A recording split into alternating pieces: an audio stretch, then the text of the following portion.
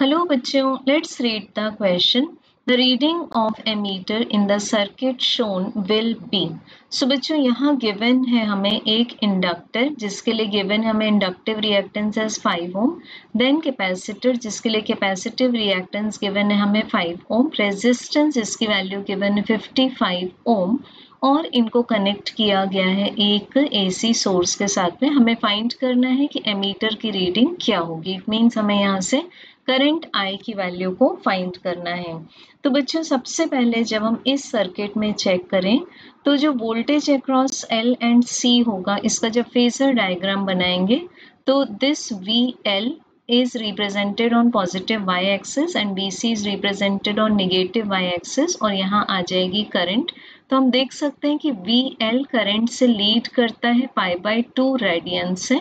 और वी सी के मामले में हम देख सकते हैं कि आई लीड करता है वी सी से पाई बाई टू रेडियन से। तो बच्चों, यहाँ से हमें जो नेट वोल्टेज मिलेगा that will be V L minus V C तो इट मीन्स हमें यहाँ जो इम्पीडेंस मिलेगा that will be XL minus X C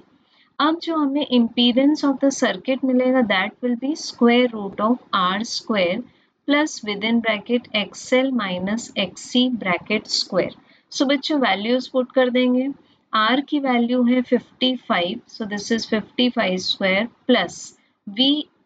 XL and XC दोनों की ही वैल्यू 5 है तो ये हो जाएगा ज़ीरो सो so, हमें इम्पीडेंस Z की वैल्यू मिल जाएगी यहाँ 55 ओम अब हम देख सकते हैं कि जो हमें करंट आई मिलेगी by Ohm's law that will be V divided by the impedance जो कि टोटल यहाँ पर रेजिस्टेंस के इक्वल है। So this will be 110 divided by 55 so current in the circuit is 2 ampere so बच्चों करेक्ट ऑप्शन हो जाएगा ऑप्शन ए थैंक यू